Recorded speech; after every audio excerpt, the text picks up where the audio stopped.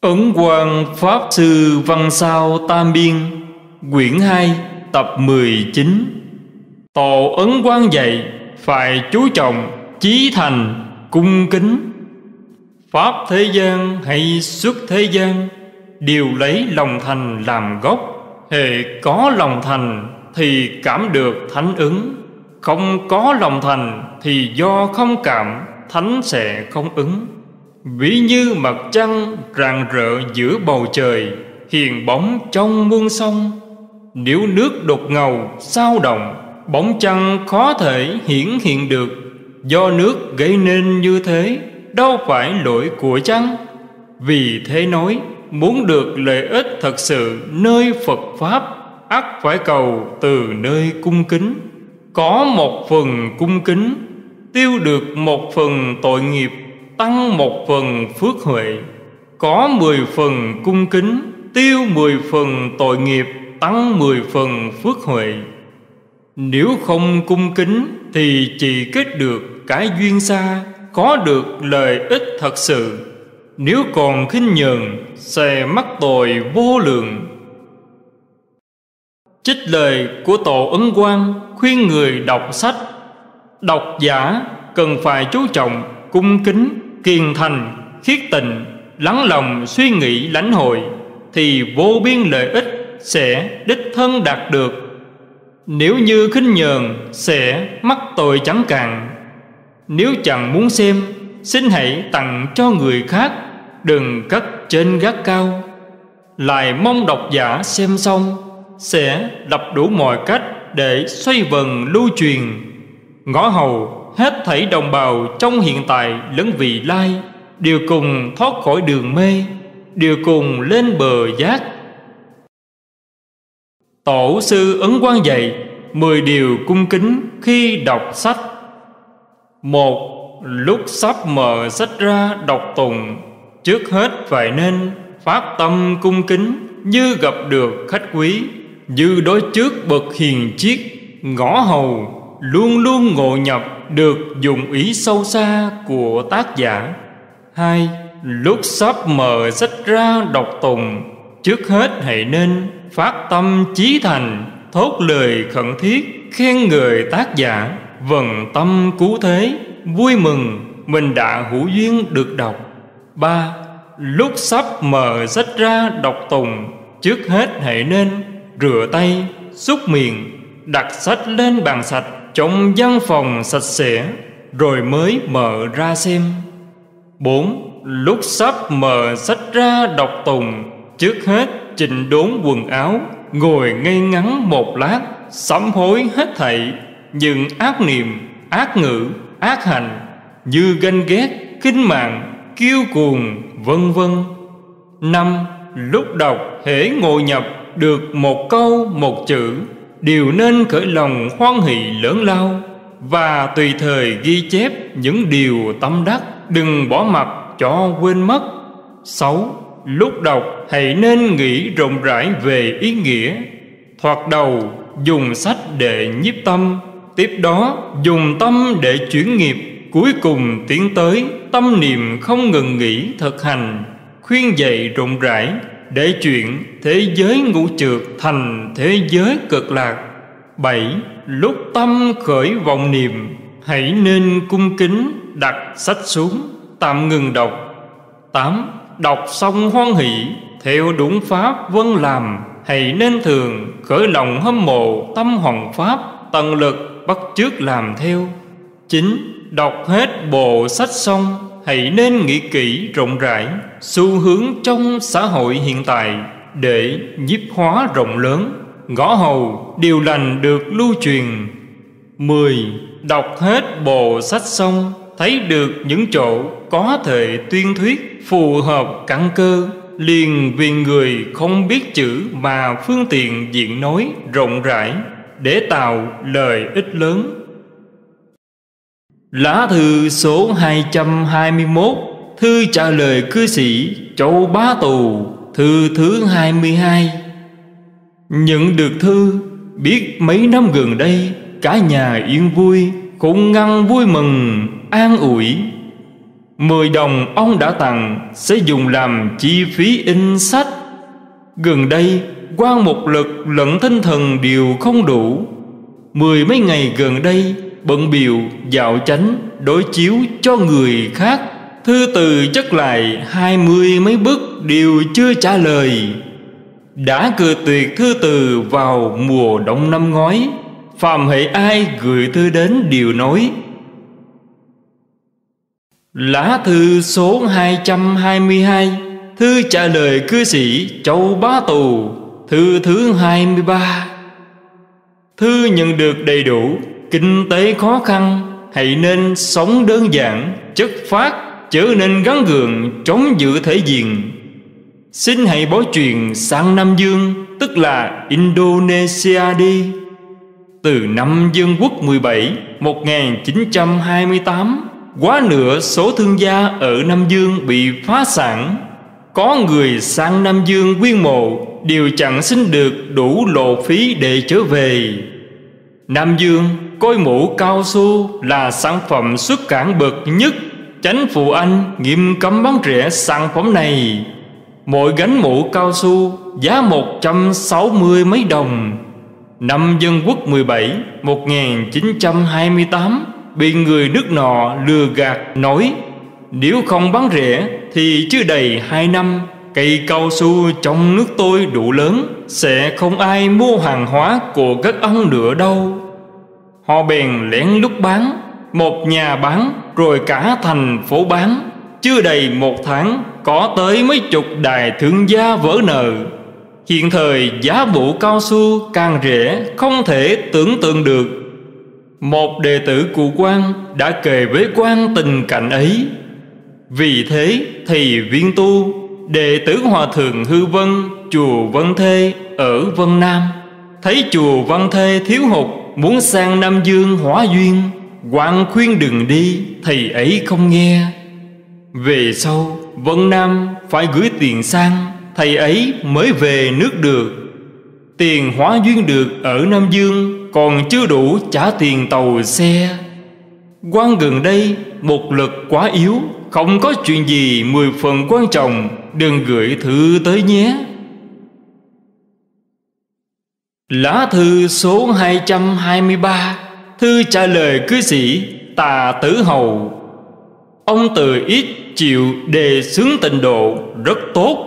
Năm trước, ông ta đã gửi cho tôi một cuốn tình mới lục xin ấn hành. Trong năm trước, tôi đã cho in vào sau cuốn tọa hoa chí quả. Tháng chạp năm ngoái, ông ta cùng với một vị tăng người tứ xuyên đến chùa báo quốc, ở lại nhiều ngày ăn tết. Vì tăng ý, áo chàng cũng không mang theo. Sau tết, quan vợ trách, ông là tăng đang lúc cuối năm cũ bước sang đầu năm mới, tăng sĩ đều tụng niệm cầu chúc cho đất nước, nhân dân. Ông đi xa ăn tết mà áo chàng cũng không mang theo đủ biết ông, suốt năm cũng không có chuyện lễ tùng, trì niệm. May là ông cùng đến với từ cư sĩ, nếu không, chùa báo quốc cũng chẳng cho ông chú ngụ đâu. Ông từ đã kết bàn với vị tăng ấy, từ Chi Na đội học viện. Vậy thì ông Từ cũng chỉ là người nói suông, Chẳng chú trọng thực hành. Nếu không, Sao lại chịu kết bạn với ông Tăng? Lười nhát lễ tồn ấy, Để ông ta làm nhục lấy đến mình ư? Đức Như Lai gọi hàng người như vậy Là những kẻ đáng thương xót. Lá thư số 224 Thư trả lời cư sĩ Tạ Huệ Lâm, Thư thứ nhất. Năm ngoái quan do lo liệu chuyện khắc kinh, Nên vào ngày 26 tháng 7 Bèn xuống núi sang Dương Châu. Nhân tiện ghé qua Thượng Hải Tô Châu, Kim Lăng Đến mùng 5 tháng 9 Từ Dương Châu trở về Thượng Hải. Bạn bè mời sang Hàng Châu Rồi từ Hàng Châu quay lại Thượng Hải. Do ứng hành bộ an sĩ toàn thư Vàng rút nhỏ Nên phải lần khân mấy hôm. Đến ngày 24 mới về đến Pháp Vũ.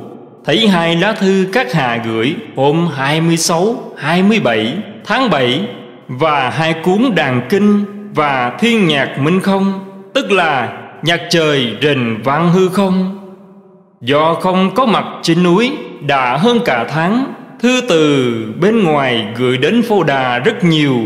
Trong một lúc chẳng thể đọc hết được. Đến mùng 3 tháng 10 mới phúc đáp thư các hạ được. Lại gửi cho các hạ năm bộ văn sau Do thương vụ ấn thư quán in ra. Một cuốn duyên khởi khắc in Đài Tạng Kinh Mới được ấn hành, Bỏ chung trong một bưu kiện Giao cho bưu điện. Chắc là đã chuyển đến quý phủ rồi. An sĩ toàn thư là thiện thư bậc nhất xưa nay trong thiên hạ. Năm quan tự thứ bảy 1881 Cha của thiên sinh, Trương Phụng Trì, Là thiên sinh phổ trai, Tên là thụ Ấn, Đã cho khắc in Tại tàng kinh viện ở Dương Châu. Bàn khắc ấy Nét bút quá nhỏ, Nên in chưa được bao nhiêu, Nét chữ đã nhòe nhoẹt Lại còn bị sai ngoa quá nhiều. Mười mấy năm trước, Do muốn sớm khắc bạn khác quan đã dạo chánh tường tầng Đến năm dân quốc thứ bảy 1918 Đã được một người bạn là ông Lưu Cần Phổ Bỏ tiền in nên mới được thọ chí. Năm dân quốc thứ 8 1919 mới khắc in thành sách. Trong một, hai năm qua, đã in được hai, ba ngàn bộ. Mùa thu năm ngoái, một người bạn vì thấy rằng do thấy đạo nhân tâm đã suy hãm cùng cực, nên thiên tai nhân hòa liên tiếp giáng xuống.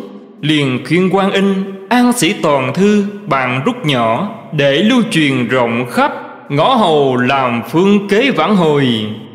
Quan liền chẳng nệ hà nông cằn kém cỏi, đứng ra đề xướng.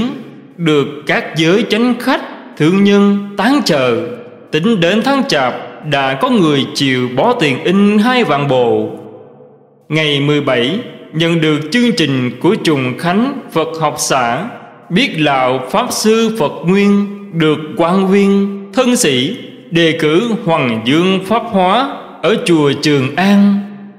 Do vậy, tôi gửi thư đến Ngài Phật Nguyên, Xin sư, hãy bảo đạo tràng ẩn tống an sĩ toàn thư hơn một vạn bộ phát cho mỗi huyện thuộc tỉnh Tứ Xuyên một trăm bộ So với việc giảng diễn tại một nơi, Sẽ đạt được lợi ích rộng lớn hơn.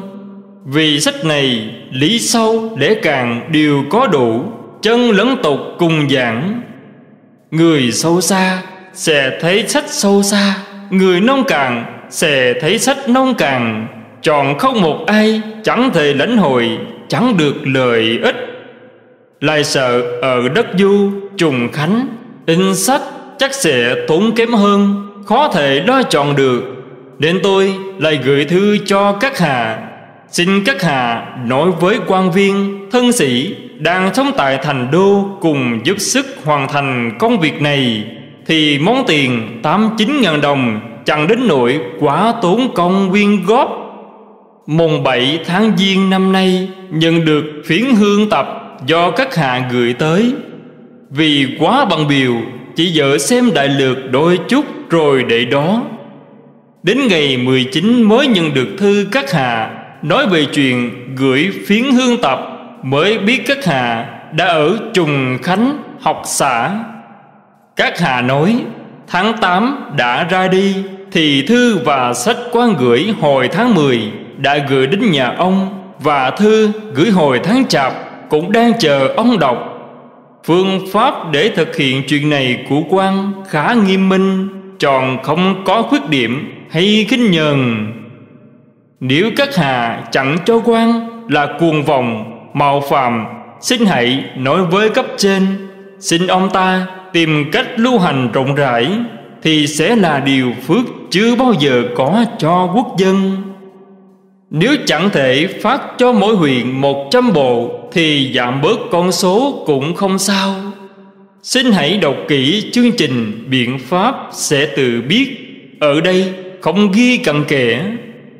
Phiến hương tập đã nhờ người có danh vọng kiểm chứng Để mong được lưu thông. Chắc là không nên chỉ gửi tới một bản. Quan một lượt không đủ, Chẳng thể đọc nhiều. Liền gửi cho từ úy như, Tên là Văn úy Đối với cư sĩ Lý Chứng Cương, Tên là Dực Trước, Hãy nên gửi bạn khác. Chứng Cương chưa hề gửi thư cho quan, Nhưng quan biết chỗ ông ta ở. Lưu viên Lâm Xuyên Lý Trạch Ở ngõ Tùng Bách Phủ Nam Sương, Giang Tây, Chính là nhà ông ta đấy. Lưu Phù Nguyên văn lý rất sâu, Xem hành trạng của ông Trương, Khổ ngăn cảm kích bồi phục Vùng xuyên trung đã có cao nhân Lại được đề xướng. Quả thật là dân tình tứ xuyên may mắn, Mà Pháp Đạo cũng may mắn lắm. Đối với chuyện hoàng pháp, Hãy nên xét thời cơ. Đang trong lúc nước nhà Thái Bình, Nhưng tâm thuận thiền Thì phần nhiều hãy nên dựa theo thực tế để uống nắng. Hoàng Dương đang trong thời đại thê thảm, Từ trước đến nay chưa từng có này. Trước hết, hãy nên đem nhân quả báo ứng, sanh tử luân hồi, vân vân, để giáo hóa những kẻ ương ngành khích lệ và công kích gián tiếp, hầu đánh đồng lương tâm của họ. Sau khi họ đã biết pháp tắc, những điều răng nhắc mới lại uống nắng hoàng dương, đấy mới là đạo duy nhất không hai vậy ngày 21 tháng Giêng. Lá thư số 225 Thư trả lời cư sĩ Tạ Huệ Lâm, Thư thứ hai. Nhận được thư cũng ngăn cảm kích hổ thèn Trùng Khánh Phật học xã Đã do thư thứ phạm chịu trách nhiệm chánh, Thì sẽ chẳng đến nỗi bị sai lầm. Khắc in hai vạn bộ văn sao Thật chẳng dễ dàng, Vì hiện thời tiền công khắc chữ rất đắt. Nếu khắc tròn bộ văn sao, Sẽ phải khắc hơn 900 trang. Mỗi trang, nếu không tốn tới một đồng, Sẽ không thể nào khắc được. Trước kia, quan đã khắc một bộ Ở tàng kinh viện Dương Châu Hơn 400 trang, Chia thành bốn cuốn. Đấy chính là bản được thương vụ ấn tư quán. In thành hai cuốn vào năm dân quốc thứ 10 1921 Bộ Tăng Quảng Văn Sao lần này được chế thành bốn bức chỉ bản, Hai bức giao cho Trung Hoa Thư Cục, Hai bức trả về cho quan. Năm ngoái xưởng in kinh Hàng Châu Làm cháy mất một bức, Chỉ còn lại một bức. Nếu muốn lưu thông rộng rãi có lẽ nên chiếu theo cách thức trình bày đó Để tạo ra một bức nữa Rồi cho tạo ra nhiều chi bản, Chắc sẽ thuận tiện hơn. Tiền công sách chữ của sườn in Thuộc nhà giam Tàu Hà Kính Ở Thượng Hải, Rẻ hơn thư cục một nửa. 415 16 trang Chưa đến 200 đồng Mỗi trang chưa đến 5 cắt. Trung Hoa thư cục tính hơn một đồng, Tạo ra chỉ bản cũng thuận tiện hơn. Truyền uống nắng cho lòng người chân thành, thiện lương Thì ngay cả thánh hiền cũng chẳng thấy làm được chuyện ấy. Trong gia đình, làng xóm đề xướng nhân quả báo ứng và giáo dục trong gia đình, rất cần phải chú trọng, dạy dỗ con cái, sao cho nhà nhà đều răng dày thông hiểu và cũng nhờ vào đó để uống nắng cái tâm của thiên hạ mà thôi. Đối với tứ thư, ngũ kinh, kẻ học nho, do thiếu con mắt thông suốt, nên thường trái nghịch lời thánh hiền dạy. Chỉ có kẻ hiểu biết bằng tâm của chính mình mới có thể nêu tỏ tông chỉ của thánh hiền. Chẳng đến nỗi làm cho người khác bị lầm lạc. Nhà nho coi lý nhân quả là gì đoan? Trái nghịch thánh đạo gây ra chiến tranh cho đời sau đều do bọn lý học gây ra. Ông đã muốn quy y, đành dùng cách đem lầm đáp lạc. Nay đặt pháp danh cho ông là huệ lâm. Ấy chính là vì nhà lửa nóng hừng hực, chẳng có mưa dầm chí huệ, Sẽ chẳng thể dập tắt được Tự hành dạy người đều nên như thế. Đừng nói, tôi đâu có sức lớn lao ấy. Một mai đánh đổ, ham muốn săn bậy, Khôi phục lễ nghĩa, Khiến cho thiên hạ hướng về lòng nhân. Gốc của thiên hạ là đất nước, Gốc của đất nước nằm trong gia đình. Cái gốc của gia đình ở nơi thân. Thiên hạ chẳng yên, Thất phu có trách nhiệm. Nếu có thể hành theo thánh giáo Nho, thích Thì chưa hề có chuyện. Mọi người chặn đua nhau Khởi lên đáp ứng. Lình lan hiếu thuận Nên đặt pháp danh là tông từ. Kinh phạm võng dày Hành hành nghiệp phóng sanh như sau. Hết thảy người nam là cha ta Hết thảy người nữ là mẹ ta Hết thảy những vật có mạng sống Đều coi như cha mẹ quyến thuộc trong đời trước, Sanh tâm từ bi hiếu thuần. Chẳng những không giết bừa, Mà cũng trở nên ăn thịt chúng, Vì thịt đều do giết hại mà có. Nếu dùng tiền mua con vật đem phóng sanh, Thì phóng sanh hữu hàng. Nếu không ăn thịt và ôm dự chí nguyện khuyên dạy hết thảy, khiến cho ai nấy đều yêu thương, quý tiếc sanh mạng loài vật công đức sẽ lớn lắm. Đề cao, chú trọng lòng từ, ngõ hầu, đạo thượng dân yêu vật được biến thành sự thật.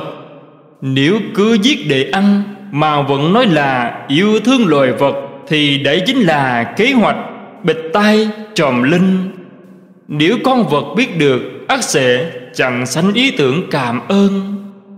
Hãy nên bảo cháu nó đọc thuộc cảm ứng thiên vượng biên. Đấy chính là nhiệm vụ cốc tránh nguồn trong, cấp bách. Do những điều tứ thư ngũ kinh đã nói thì hoặc là rải rác khắp nơi, hoặc do nghĩa lý ẩn kính khó thể lãnh hội đã đọc thuộc sách cảm ứng thiên vượng biên này xong, khi đọc ngũ kinh, tứ thư, trông thấy những câu nói ấy tâm trí sẽ lãnh hội được ý nghĩa. Những gà lý học coi trọng tận tụy thực hành, nhưng chẳng biết đến nghĩa này. Ngược ngào chỉ trích nhân quả báo ứng, sanh tử luân hồi của đạo phật là dị đoan. Đều là hàng chưa thấy lý, không có cách gì để cứu đời vậy. Huệ dung có gửi thư đến, tôi đã nhận được rồi. Chắc thứ phạm đã chi tặng sách quán âm tụng rồi. Hiện thời quan đã về núi, trong mùa thu sẽ sang đất hổ để lo in các sách cho xong. Tính năm sau, sẽ lánh mình ở ẩn nơi, không có đường bưu điện để chuyên tu tình nghiệp. Ngõ hầu khỏi uổng công, bận biệu vì người khác, mà đại sự của chính mình trở thành chuyện nói suông. Ngày 20 tháng 5 Lá thư số 226 Thư trả lời cư sĩ Tạ Huệ Lâm, Thư thứ ba. Nhận được thư khủng ngăn vui mừng, an ủi, Làm quan để hành đạo, Cứu đời, dạy dân, Quan hệ ấy rất lớn. Người đời nay Phần nhiều ý thế lực nhà quan Để thô tóm của cải, Tạo tội thật đáng than, Đáng hận các hạ vì lòng đại bồ đề khéo làm quan phù mẫu, Cai trị một ấp thì một ấp sanh Phật. Lại nên luôn đem nhân quả báo ứng để bảo ban, Khuyên nhắc họ lời ích sẽ rộng lớn lắm. Bản văn sao của Dương Châu Tàng Kinh Viện là bản khắc ván, So với ấn bản lần này, ít hơn một trăm bài, Giá sách cũng đắt hơn nhiều. Lần này in hai vạn bộ, Thương vụ ấn tư quán, Nài cớ, giấy chặn dạy kiếm, Chưa hề in riêng. Ý họ muốn dùng loại giấy có độ bóng để in. Vì thế, những sách chưa được phát hành hiện thời Cũng chưa định giá được. Ngay hôm ấy, tôi đã bảo người bạn gửi cho ông mười gói. Khi nhận được, xin hãy thấy tôi kết duyên.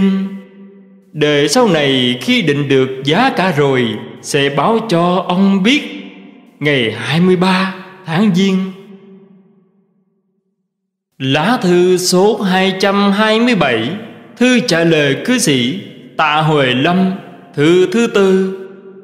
Nhận được thư như gặp mặt, Lời huấn từ hay tuyệt. Chỉ sợ học sinh chẳng thể lãnh hội được, Sẽ cố phụ lòng ông Thiết tha lo lắng nhiều lắm. Chương trình đơn giản của hội niệm Phật Thích hợp căn cơ và tình hình là được rồi. Hiện thời, bất luận trong nhà trường hay Phật hội Đều phải xuất sáng đề xướng, Nhân quả báo ứng và giáo dục gia đình. Nhưng đối với giáo dục gia đình, Càng phải chú trọng nhân quả báo ứng Mới mong mai sau được thái bình. Nếu không, sẽ chẳng còn hy vọng gì nữa đâu. Ngày 17 tháng 12 Lá thư số 228 Thư trả lời cư sĩ Tạ Huệ Lâm, Thư thứ năm. Ngũ Kinh, Tứ Thư, Vốn là sách dạy người làm lành. Người đời phờ nhiều coi như sách văn chương, Nên ở ngay trước mặt mà bỏ lỡ. Còn cảm ứng thiên, Âm chất văn, Vân vân Trình bày trực tiếp truyền nhân quả báo ứng Khiến cho con người vừa đọc đến liền hiểu ngay. Thật là hữu ích. Những kẻ lớn tiếng luận về lý tánh Chẳng đề xướng nhân quả báo ứng, Muốn được tiếng cao chổi hơn người, Nhưng chẳng biết thực chất của sự cao chổi, Lại chẳng dần dắt khắp hết thảy mọi người, Đều tuân theo đạo Pháp của ngũ kinh tứ thư. Cố nhiên quan chẳng muốn mọi người học theo loại người như thế ấy, Vì họ chỉ có thể làm kẻ từ giải thoát cho chính mình, Chứ chẳng thể đề khắp hết thảy. Ngày 24 tháng 3 Lá thư số 229 Thư trả lời cư sĩ Tạ Huệ Lâm, Thư thứ sáu. Con người hiện thời hễ hơi thông minh, Điền tự đại, tự thì Phàm phu đề mạc Muốn chứng thánh quả Mà chẳng nương theo tịnh độ, Đều là cuồng vòng Tham thiền dẫu đạt đến địa vị, Minh tâm kiến tánh Kiến tánh thành Phật Thì vẫn là phàm phu Chưa phải là thánh nhân. Quan cực tầm thường kém cỏi, Thiếu học vấn, Nhưng thật sự giữ được thái độ, Chẳng bị xoay chuyển bởi ngôn ngữ, Văn tự của kinh giáo, Tri thức. Nếu ông chịu tin tưởng Hay dốc sức nơi Pháp dễ thực hiện, Dễ thành tù. Nếu chẳng nghĩ là đúng, Thì cứ phó mặt cho ông, Chứng thẳng vào thập địa, Làm bậc chân danh do. Ai có tâm nấy, Làm sao ép buộc được? Hình chụp của quan Có gì đáng xem đâu? Sao không thường nhìn hình Phật Có phải là tốt hơn hay không?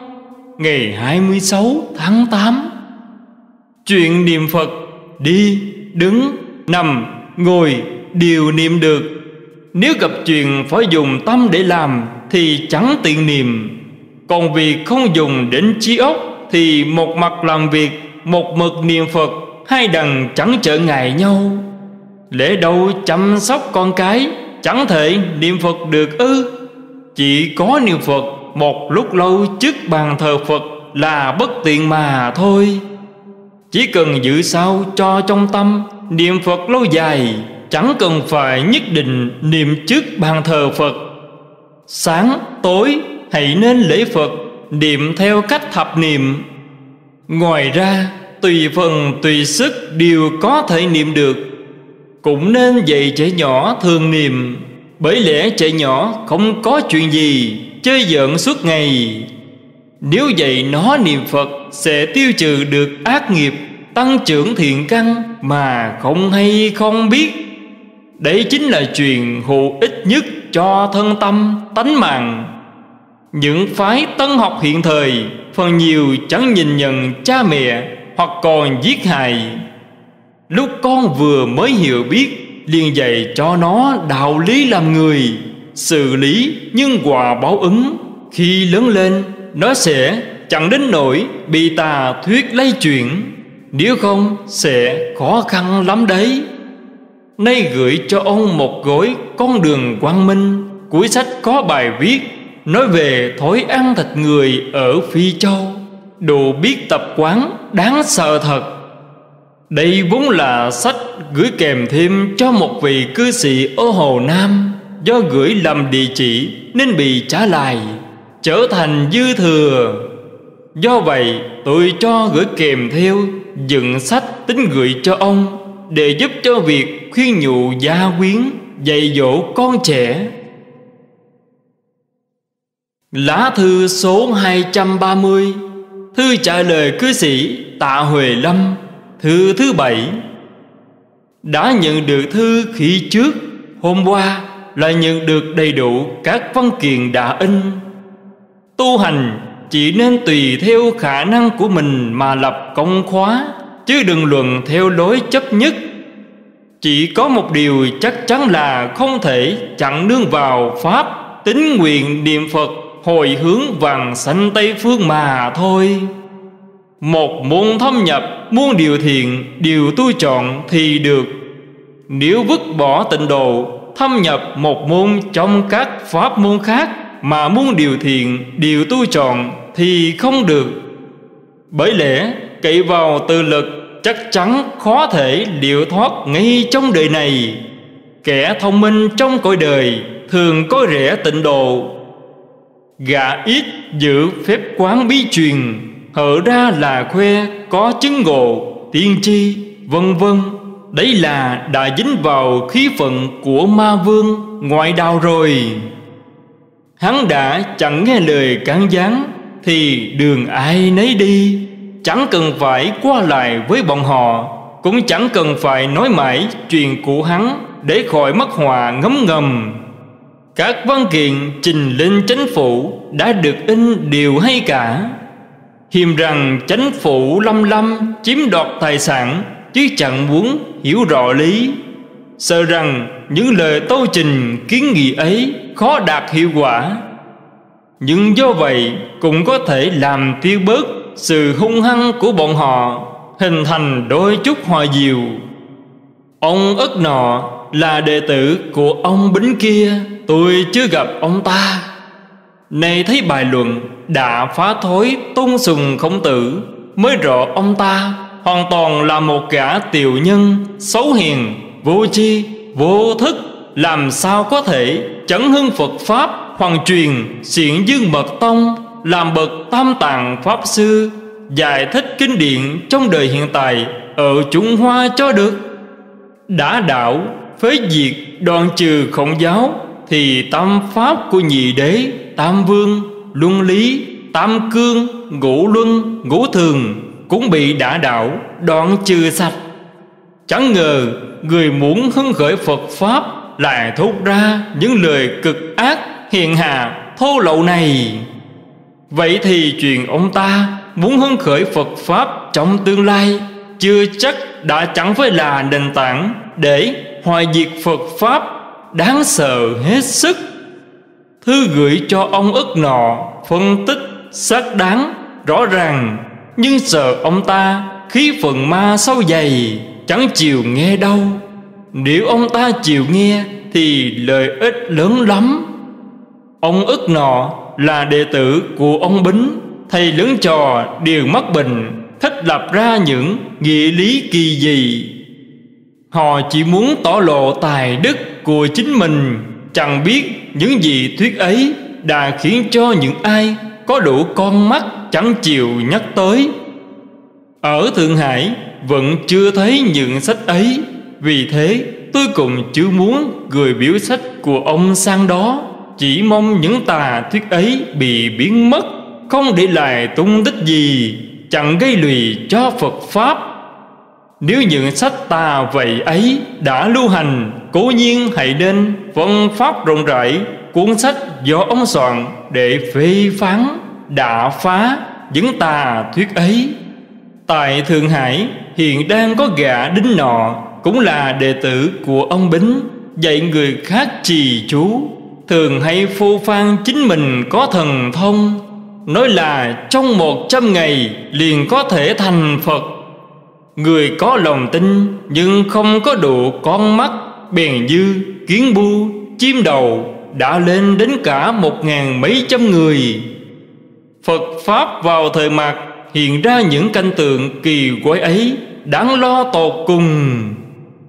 Quan tính trong vòng tháng 8, tháng 9 lo xong chuyện in sách sẽ giấu tung tích ẩn dực lâu dài.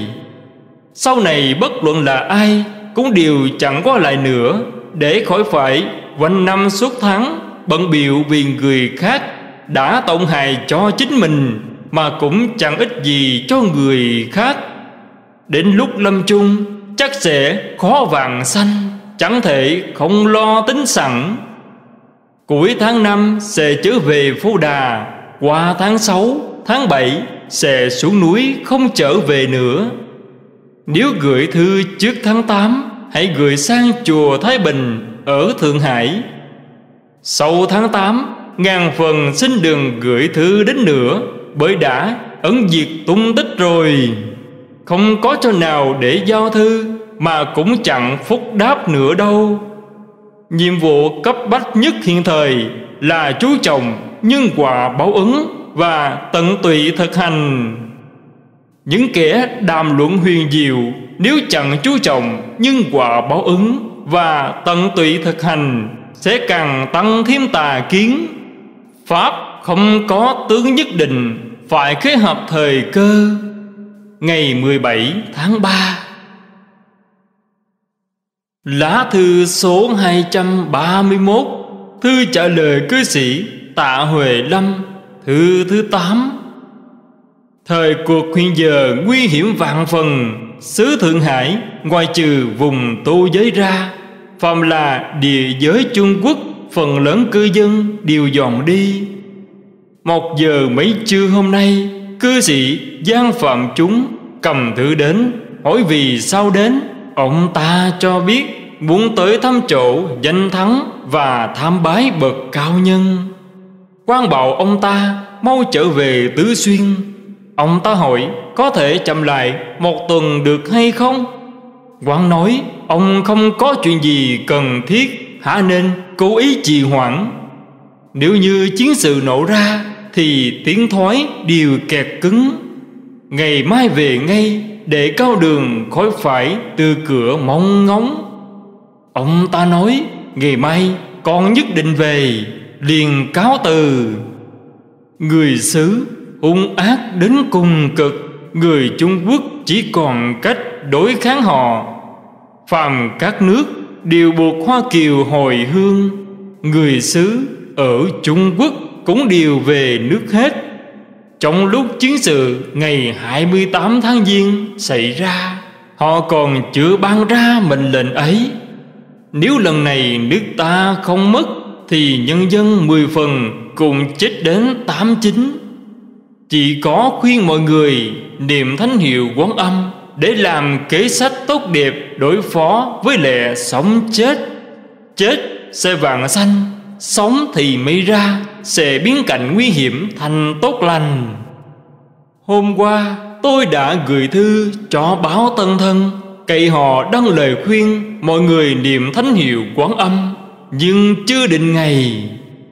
Lại bảo du dân tập cần sở, Tức là sợ huấn luyện việc làm cho những người lang thang. Ở tàu Hà Kính, In bốn năm chục vạn tờ truyền đơn Gửi đi các nơi để tận hết tấm lòng tôi.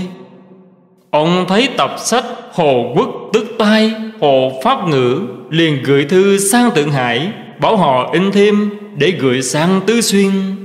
Cuốn sách này do Phật giáo Nhật Bản xạ ứng hành, Chứ không phải do quan in. Bản của quan in so với bản in của Nhật báo xã Còn có thêm phần khai thị ở Linh Nham.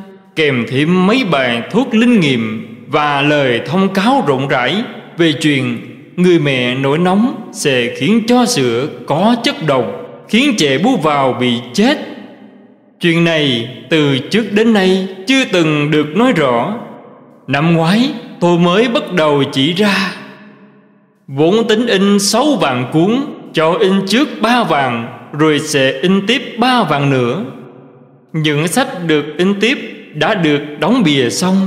Nếu không có chiến sự, lại còn phải in thêm bốn vạn cuốn nữa. Nhờ vào công cuộc hoàng pháp này mà lưu truyền rộng rãi, Hồng chấm dứt cái họa sửa độc. Ông tính khắc ván, Nếu chuyện này đã tiến hành, Thì chẳng cần phải ngưng giữa chừng. Nếu mới khắc một hai trang, Thì ngưng cũng được. Nếu không cho thợ khắc một bản, In cho thật rõ nét Thì chỉ in được sáu bảy ngàn cuốn. Nếu chiếu theo cách in của thư đếm, Những nét chữ đều chẳng mười phần rõ rệt, Sẽ in được hơn một vạn bản. Nếu dùng lối sắc chữ bằng cách đúc bản kẽm Thì phải tạo ra mấy bức chỉ bản, Có thể đúc được năm sáu bảy lần bản kẽm. Mỗi lần in bằng bản kẽm những công ty ấn lót lớn có máy in chạy bằng động cơ, Có thể in một vạn hay mười vạn, Trăm vạn cuốn cũng không sao. Những công ty ấn lót nhỏ Chẳng mua nổi máy in chạy bằng động cơ, Vẫn in được hai, ba vạn cuốn. Nếu chiến sự chẳng nổ ra, Đối với những sách do quan in, Ông nguyện bỏ ra bao nhiêu tiền Tùy ông phát tâm. Dẫu không bỏ tiền in Tôi cũng sẽ gửi cho Tứ Xuyên Bao nhiêu đó gói sách. Biện pháp như vậy Vừa đỡ tốn tiền Vừa đỡ mất công Lại chẳng cần phải dạo chánh đối chiếu nhiều lần. Năm Dân Quốc 12, 13, 1923, 1924 Đối với những sách sắp được ấn hành quan điều bảo họ chế thành bốn bức chỉ bản cho mỗi sách. Giữ lại một bức để tự dùng, Một bức gửi sang Tứ Xuyên, Một bức gửi sang Cấp Nhị Tân, Một bức gửi sang Tận Gia Ba, để các nơi đều tự in được. Do vậy, bèn viết thư cho ba nơi, hỏi họ có làm được hay không. Mỗi nơi đều gửi thư trả lời cho biết tiền giấy ở chỗ họ còn mắc hơn giá sách đã in hoàn tất ở thượng hải còn với cước phí gửi đi. Đã thế kỹ thuật ấn loát còn kém xa thượng hải. Do vậy tôi đành xếp xó ý muốn gửi chị bạn đi. Chuyện này tôi đã lo liệu vào năm Dân Quốc 17, 18, 1928, 1929 Ông đâu biết tường tận Vì thế mới phải dài dòng một phen. Ba giờ ba khắc ngày mùng 1 tháng 7 Lá thư số 232 Thư trả lời cư sĩ Tạ Huệ Lâm, Thư thứ 9 Thư trả lời lần trước, Chắc ông đã đọc rồi. Do chiến sự Nên Thượng Hải giao thông cách trở, Chẳng thể gửi bằng đường máy bay. Bài khai thị ở Linh Nham nói vào ngày 17 tháng 10 mùa đông năm ngoái. Khi ấy, quan từ đất hộ đến thẳng Linh Nham, Nói ra vào ban đêm. Ngày hôm sau, tôi liền về ngay bảo quốc bế quan, Chứ không làm chủ trì Linh Nham.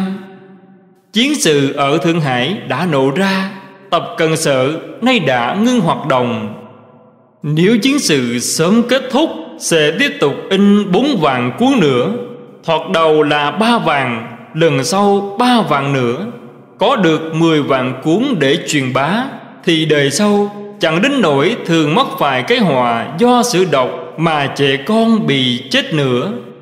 Món tiền 10 đồng sẽ dùng làm chi phí ấn tống. Quan khá sờ bôn ba chẳng những không muốn đến những xứ tứ xuyên, hồ nam, cam túc mà ngay cả linh nham cũng không muốn qua. Chết sống có màng hả nên nhọc nhằn huống chi tuổi già, khí lực suy nhược bốn ba, nhọc nhằn, chẳng bằng chúng bom chết sung sướng hơn. Huống chi chưa chắc đã bị chúng bom, do vậy tròn chẳng có một ý niệm dời sang nơi khác. Ngày 25 tháng 7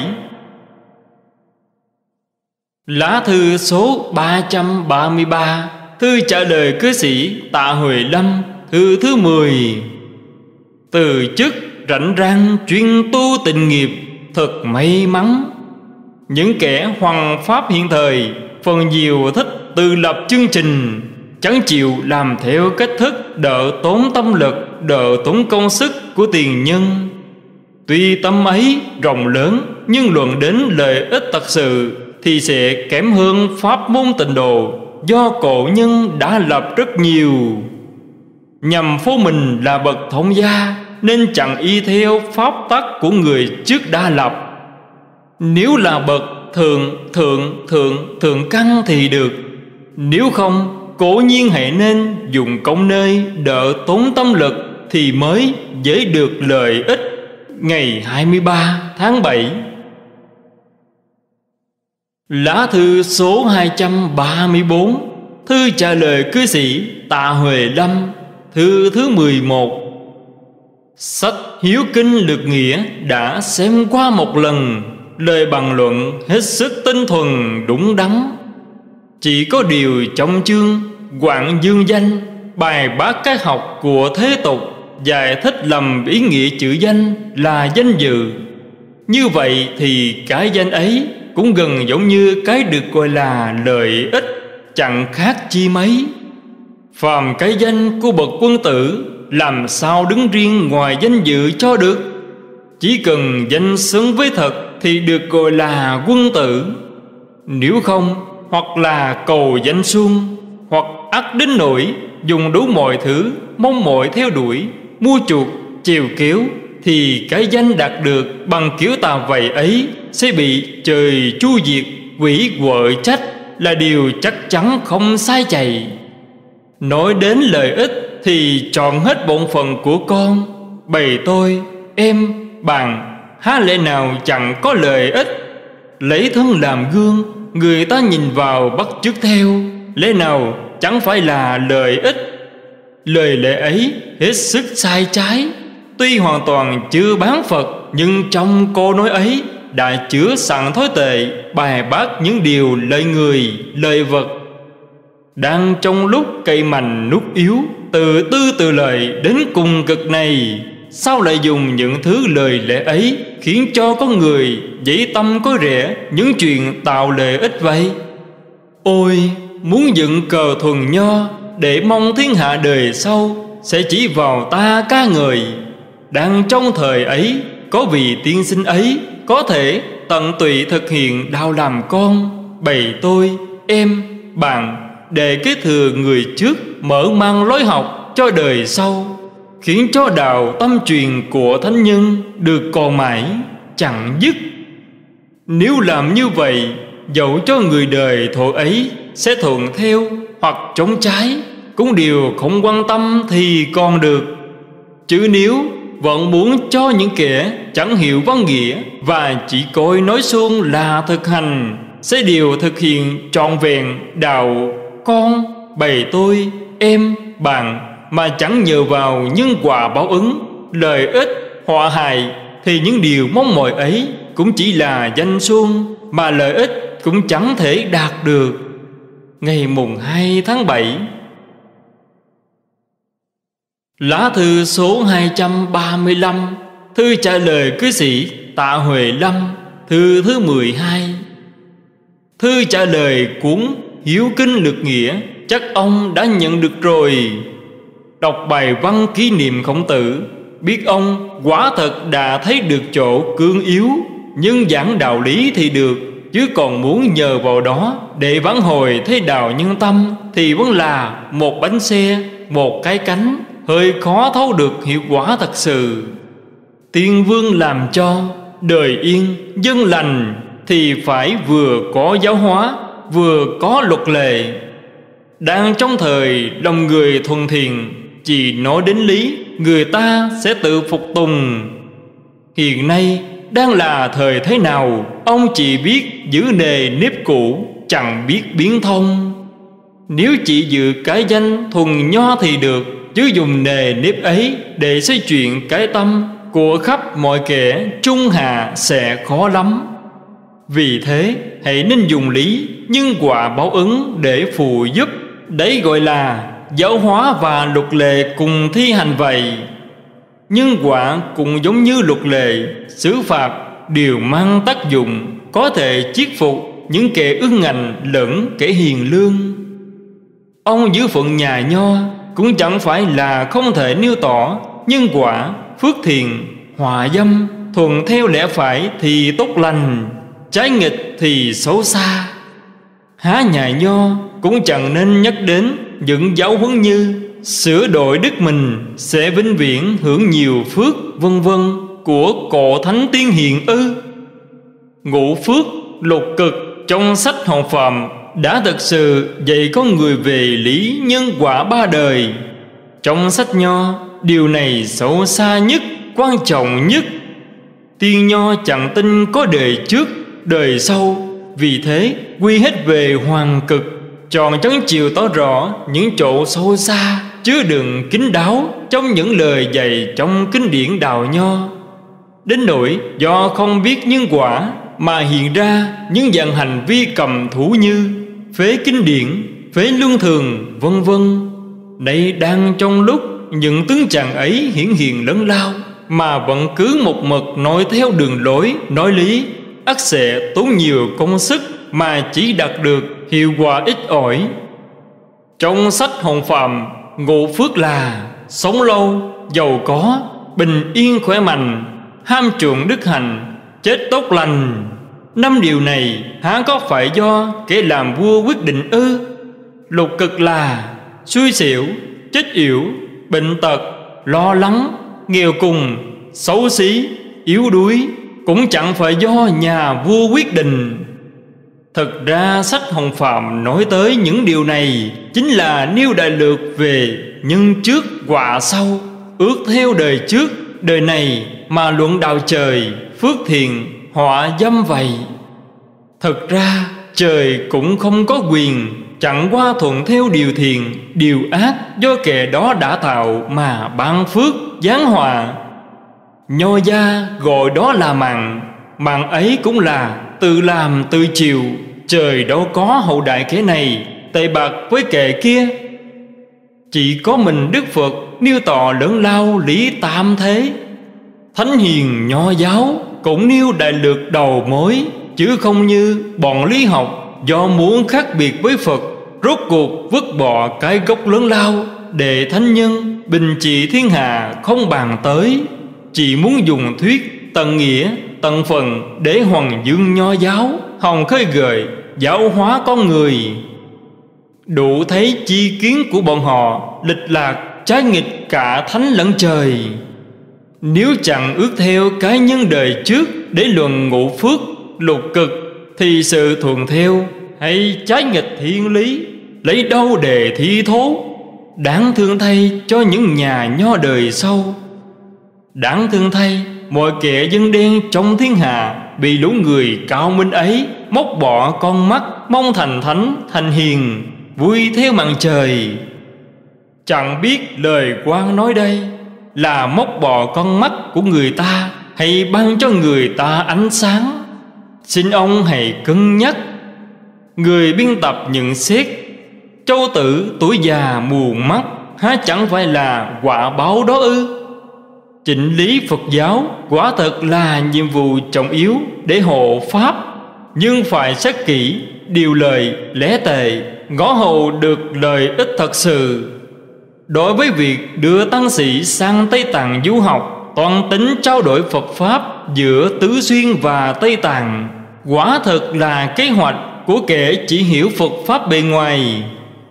Phật Pháp nước ta, Pháp nào cũng hoàn bì chỉ có Pháp bị kém thiếu là mật tông. Nói đến chuyện trao đổi Thì phải hiểu rõ Pháp sẵn có. Rồi nếu có thừa sức Thì mới học mật tông của họ để phụ trợ cho các tông đã sẵn có. Này do các vị tăng chưa từng dốc sức nơi các tông, Lại bảo họ theo học với gã ma vương ít Đang lưu ngụ tại vùng Tây Khang. Sau khi học xong ác sẽ hoại loạn Phật Pháp, Gây nghi ngờ, khiến chúng sanh bị lầm lạc. Nghi ngờ như những gã y kia muốn đả đạo Đoàn trừ đạo của nhị đế, Tam Vương. Điều này có ảnh hưởng lớn đối với nho giáo lẫn Phật giáo. Ông là người hiểu lý, Một phiên hạo tâm của ông Lưu Cố nhiên chẳng thể không tuân theo. Nhưng xưa nay lập pháp đều phải dò hỏi những bậc thông sáng rồi mới có thể thi hành. Há lẽ nào chẳng tính lợi hại, chỉ nhận được phương cách bèn thực hiện ngay mà là đúng hay sao? Nếu chẳng thấy ma chi ma kiến của lũ ít thì còn được, chứ đã biết chúng là ma rồi mà vẫn cứ khiến cho kẻ chưa trở thành ma học theo lũ ma thì người ta chẳng trở thành ma dân, ma nữ cũng là chuyện hiểm hoi lắm. Chuyện này quan hệ rất lớn quan chẳng thể không nói. Nhưng những điều quan nói với ông trở nên nói thẳng thừng với những kẻ chẳng hiểu biết, mà phải uyển chuyển, nói vòng vo, dẫn những điều hòa thời trước để làm gương, tày liếp cho xe sau. Khỏi đi vào vết độ của xe trước thì mới nên. Trước hết, hãy học những phật pháp sẵn có. Chẳng học những pháp ấy, chính là bỏ cụ quý trong nhà để đi ăn xin vậy.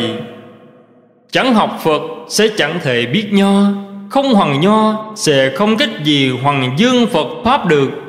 Ngũ luân, tam cương đều là chuyện thuộc lục đồ văn hành của bồ tát. Chương trình của phật giáo tân thanh niên hội nọ nhằm dạy người hành lục đồ văn hành. Nhưng trong tám đại sứ mạng của họ, không có một chữ nào nhắc đến nhân quả, báo ứng cương thường, luân lý và tịnh độ. Tôi chẳng biết họ hành lục độ vận hành bằng cách nào. Chuyện này cũng do người bạn tên ít của ông đệ tử y đề xướng. Xin ông đọc xong thứ này, hãy giao cho ngọn lửa, đừng đưa cho người khác xem, để khỏi bị bè đảng của bọn chúng đố kỳ ngày 18 tháng 7 Chân trọng cung kính cúng dường Hết tập 19 Kề tu trì, Giữ vẹn luân thường, Trọn hết bổn phận, Ngăn dứt lòng tà, Giữ gìn lòng thành. Đừng làm các ác Vâng làm các thiện, Kiên giết cứu mạng, Ăn chay niệm Phật, Hồi hướng vạn sanh Thế giới cực lạc. Dùng để tự hành, Lại còn dạy người Ấy gọi Phật tử. Hành giả hãy nên làm như thế ấy, Công đức vô lượng. Niệm Phật mới hồng tiêu túc nghiệp, Kiệt thành sẽ tự chuyển phàm tâm. Đạo nghiệp chưa thành, Há dám để tâm này tán loạn, Kỳ chết sắp đến, Tận lực tạ từ mọi thù tạc. Hãy nên phát nguyện Nguyện vạn sanh, Núi khe điệu khách từ nay thôi quyến luyến. Tự mình chẳng về Về liền được. Gió chân quê cũ, Toàn thể hãy tự vân Đóng cửa chẳng tiếp ai, Xót nghị thân này sắp chết. Chuyên tâm tu tịnh nghiệp, Thèn thay đạo nghiệp chưa thành.